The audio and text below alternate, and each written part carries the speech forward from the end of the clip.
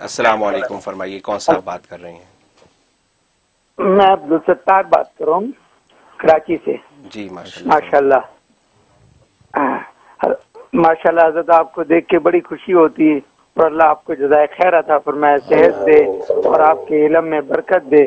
اللہ نے آپ کو بڑا نوازا بہت اللہ نے اللہ آپ کو خوش رکھے۔ ماشاء اللہ آپ کو دیکھ کے بڑی ٹھنڈک ہو جاتی ہے خص- خصوصاً لائف میں۔ حضرت حسن بصیر رحمۃ اللہ علیہ فرماتے ہیں، دو آدمی بدتی ہیں جنہوں نے اسلام میں سب سے پہلی بدت شروع کی ہے۔ ایک یہ، ایک وہ جو یہ جو یہ سمجھے کہ جو دین میں نے سمجھا، دین وہ ہے۔ اور دوسرا دوسرا وہ جو دنیا کمانے کو پسند کرتا ہو۔ ہاں یہ دو باتیں فرمایا اور فرمایا ان دونوں کو جہنم کے لیے چھوڑ دو۔ تو حضرت، اس کا کیا مطلب ہے؟ اور دوسری چیز یہ ہے کہ ہم نے تو شروع سے یہ سنا ہے، صحابہ صحابہ لیکن آپ نے ہم لوگ کے سا- آ، بالکل غائب تھا اولیاء اکرام کا تمام تذکرے غائب تھے۔ اللہ آپ کو جزائے خیر دے۔ آپ نے کھول کھول کے ایک ایک چیز ہم سب کو پہنچا دی۔ اللہ آپ کو بہت زیادہ جزائے خیر دے۔ تو سا- ہمیشہ صحابہ کا طرز ہے۔ یعنی ساری دنیا میں ہم یہی کہا کرتے تھے سنتے رہتے تھے کہ ہمارے رہبر صحابہ اکرام رضی اللہ تعالیٰ عنہ اجمعین ہیں۔ اور رسول پاک علیہ السلام دنیا میں موجودہ کوئی جی بہت شکریہ آپ کے سوال موصول ہو گئے ہیں۔ حضرت والا سے اس کی جواب پوچھ لیتے ہیں۔ بقیہ ویڈیو دیکھنے سے پہلے ویڈیو کو لائک کریں راہم ٹی وی چینل کو سبسکرائب کریں اور بیل آئیکن پر کلک کریں۔ شکریہ۔ ماشاء اللہ ماشاء اللہ عبدالستار صاحب کراچی سے کال کر رہے ہیں۔ سب سے پہلے آپ کی محبت کو شکریہ۔ آپ نے جس انداز سے اظہار محبت کیا اللہ تبارک و تعالی اس کو قبول و منظور فرمائے اور آپ کو بھی ظاہری باطنی دولتوں سے مالا مال فرمائے۔ باقی آپ نے سوال جو ہے وہ بڑا اچھا کیا ہے۔ کہ حضرت بصری رحمۃ اللہ علیہ فرماتے ہیں کہ دو آدمی بدتی ہیں۔ ایک وہ کہ جو یہ کہتا ہے دین جو میں نے سمجھا ہے وہی ہے، وہی دین ہے۔ اور دوسرا وہ کہ جو دنیا جو دنیا کمانے کو جو ہے وہ جائز سمجھتا ہے یا حلال سمجھتا ہے۔ غالباً آپ یہ یہ آپ کہا کہ یہ دو شخص جو بدتی ہیں تو ان کو جہنم کے لیے چھوڑ دو۔ ظاہر ہے دونوں باتیں واضح ہیں۔ پہلی جو بات کی ہے کہ پہلی بات کے اندر جو ہے کبر ہے اور دوسری والی بات کے اندر جو ہے ہرس ہے۔ اور ہرس اور کیبر جو ہے، یہ دونوں کے دونوں مرض ہیں۔ لہذا پہلی جو بات اس نے کہی کہ میں نے جو دین سمجھا ہے، بس یہ دین ہے، یہ کبر ہے۔ اور کبر اللہ تبارک و تعالیٰ کو پسند نہیں، بلکہ کبر کی صورت بھی پسند نہیں ہے اللہ کو۔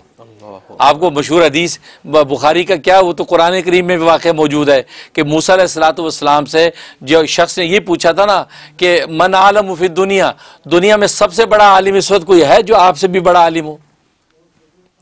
یہ پوچھا کہ موسیٰ کی صلاحت والسلام نے یہ تقریر کی، اتنی فاضلانہ تقریر کی، امپریس ہو گیا پورا مجمع۔ تو ایک شخص کھڑا ہو گیا، بعض روایت میں آتے ہیں، ان کے شاگرد حضرت یوشا تھے، وہ کھڑے ہو گئے، کہا کہ حضرت آپ سے زیادہ بھی علم والا کوئی ہے دنیا میں؟ آپ پتہ ہے؟ اس وجہ موسیٰ صلاحت والسلام نے جواب صحیح دیا، لیکن اس کی صورت کیبر کی بن گئی۔ تو کیا فرمایا؟ عجب کی بن گئی۔ فرمایا کہ لا عالم ہوں میں نہیں جانتا۔ مجھے نہیں پتا کہ مجھ سے بھی زیادہ علم والا کوئی دنیا میں ہے۔ تو اللہ کو یہ بات پسند نہیں آئی۔ کہ تو مخلوق کو دیکھ کر اپنے علم کا حساب لگا رہا ہے۔ تو تو نبی ہے۔ تو تو خالق کو دیکھ کر جواب دے۔ جب خالق کو دیکھے گا تو کیا کہ خالق کا علم تو مجھ سے زیادہ ہے۔ ہے میں تو چراغ، وہ تو سورج ہے۔ تو آپ دبی بھی بات کریں گے۔ تم یہ کہتے، اللہ عالم ہوں کہ اللہ سب سے بڑا عالم ہے۔ لیکن آپ نے خالق کو دیکھنے کے بجائے مخلوق کو دیکھا۔ تو اللہ نے اصلاح کے طور پہ فرما دیا، نہیں، تجھ سے زیادہ علم والا میرا بندہ ایک ہے۔ اس کے پاس جا۔ چنانچہ پورا حضرت خضر علیہ السلام کا واقعہ پیش آیا۔ تو اس لیے یہ جو بندہ کہتا ہے کہ دین میں نے جو سمجھا وہ دین اصل ہے، تو یہ جو ہے کبر کا شکار ہے۔ اور کبر ظاہر ہے، اس سے بڑی بدت کیا ہے؟ سب سے بڑی بدت کبر کی کس نے پیدا کی؟ شیطان سے جاری ہوئی۔ شیطان سب سے بڑا مبتد اکبر ہے اس کبر کی بدت کو پیدا کرنے کا۔ سب سے پہلے کبر اسی نے کیا۔ تبھی حسن بصری فرماتے ہیں کہ یہ جو ہے، یہ بدتی ہے کہ ظاہر ہے کہ سب سے بڑے مبتدے نے کبر پیدا کیا، اسی کو لے کے چل رہا ہے۔ دوسرا جو دنیا کی بات کہ جو دنیا کو طلب کرتا ہے، تو گویا کہ یہ ہرس کی علامت ہے۔ کیونکہ اتنی دنیا کہ جتنی انسان کے زندہ رہنے کے لیے اور باوقار لائف گزارنے کی ضروری ہو، وہ تو اللہ تبارک و تعالی نے ماں کے پیٹ کے اندر ہوتے ہوئے لکھ دی تھی۔ اس سے زیادہ کی طلب یہ ہرس ہے۔ ہرس اور ہرس جو ہے، یہ بھی وہ بدعت ہے جو سب سے پہلے شیطان کے وجود سے ظاہر ہوئی۔ کیونکہ شیطان نے سجدہ کیوں نہیں کیا؟ اس ہرس میں نہیں کیا کہ وہ یہ چاہتا تھا کہ میں اس منصب پہ آؤں۔ اللہ کے بعد نیابت مجھے ملنی چاہیے۔ آدم اس کا اہل نہیں ہے، میں اس کا اہل ہوں۔ تو گویا کہ جتنا اللہ ان کو نواز رکھا تھا، اس کو عابدین میں شامل کیا، ملائکہ میں شامل کیا صالین میں لکھا، اس کو عبادت کی توفیق دی۔ اسی پر اس نے بس نہیں کی، بلکہ سوچا، اب میں اللہ کا نائب بھی بن جاؤں۔ تو یہ ہرس تھی۔ تو سب سے پہلی ہرس اس مرتد اکبر میں پیدا ہوئی۔ یہ بندہ جو دنیا کے طالب بن رہا ہے، یہ اسی ہرس کو لے کے آگے چل رہا ہے۔ اس لیے حسن بصیر فرماتے یہ بھی بدتی ہے۔ اللہ۔